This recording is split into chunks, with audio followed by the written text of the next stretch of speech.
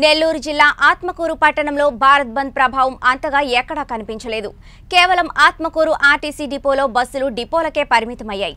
ఇది మినహా ఆత్మకూరు పట్టణంలో మరెక్కడా బంద్ వాతావరణం కనిపించలేదు. వ్యాపారస్తులు అందరూ తమ దుకాణాలను తెరిచి యథాప్రకారంగా లావాదేవీలు నిర్వహించారు. దీంతో ఆత్మకూరు పట్టణంలో భారత్ బంద్ ఆనవాళ్ళు కనబడలేదు. నేడు జరుగుతున్న బంద్ ప్రాధాన్యతను తెలియజేసిన వారు లేరు.